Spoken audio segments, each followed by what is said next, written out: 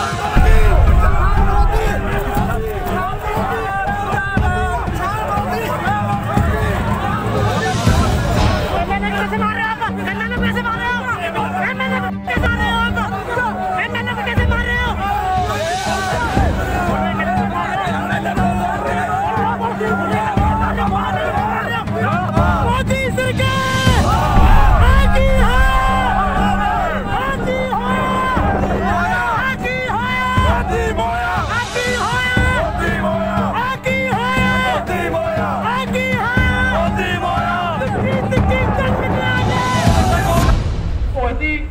Aam Aadmi party ਅਸੀਂ ਕੜੇ ਸ਼ਬਦਾਂ 'ਚ ਨਿੰਦਾ ਕਰਦੇ ਆ ਤੇ ਭਾਜਪਾ ਦਾ ਜਕਰਾਉ ਕਰਨ ਲਈ ਉਹਨਾਂ ਦੇ ਦਫ਼ਤਰ ਦਾ ਇੱਥੇ ਆਇਆ ਕਿ ਭਾਜਪਾ ਪ੍ਰਧਾਨ ਜੇਪੀ ਨੱਡਾ, ਉਹ ਪੰਜਾਬ ਦੇ ਕਿਸਾਨ ਜਿਹੜੇ ਅੱਜ ਸੜਕਾਂ ਤੇ ਬੈਠੇ ਆ, ਜਿਹੜੇ ਪਟੜੀਆਂ ਤੇ ਬੈਠੇ ਆ,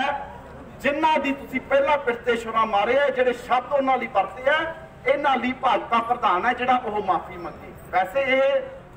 ਵਿਚੋਲੀਆ ਸ਼ਬਦ ਹੀ ਇਹਨਾਂ ਨੇ ਪਹਿਲਾਂ ਵੀ ਜਦੋਂ ਸੁਸ਼ਮਾ ਸੁਸ਼ਮਾ ਸਵਰਾਜ ਜੀ ਹੁਣ ਤਾਂ ਸਵਰਗ ਸੁਧਾਰ ਕੇ ਪ੍ਰਮਾਤਮਾ ਉਹਨਾਂ ਦੀ ਰੂਹ ਨੂੰ ਸ਼ਾਂਤੀ ਬਖਸ਼ੇ, ਤੁਸੀਂ ਉਹਨਾਂ ਦੀ ਇੱਕ ਵੀਡੀਓ ਦੇਖੀ ਹੋਣੀ ਹੈ। ਲੋਕ ਸਭਾ ਦੀ ਉਹਨਾਂ ਨੇ ਲੋਕ ਸਭਾ ਦੇ ਅੰਦਰ ਕਿਹਾ ਸੀ, ਕਿਉਂਕਿ ਜਦੋਂ ਇਹ ਵਿਰੋਧੀ ਧਿਰ ਚ ਹੁੰਦੇ ਆ, ਉਦੋਂ ਸ਼ਬਦਾਵਲੀ ਹੋਰ ਹੁੰਦੀ ਹੈ, ਜਦੋਂ ਸਰਕਾਰ ਚ ਆ ਜਾਂਦੇ ਉਦੋਂ ਹੋਰ ਹੁੰਦੀ ਹੈ। ਕੀ ਕਹਿੰਦੇ ਸੀ? ਵੀ ਵਿਚੋਲੀਆਂ ਨਾ ਕਹੋ, ਇਹ ਆੜਤੀਏ ਨੇ। ਆੜਤੀਆ ਕਿਸਾਨ ਦਾ ਏਟੀਐਮ ਹੁੰਦਾ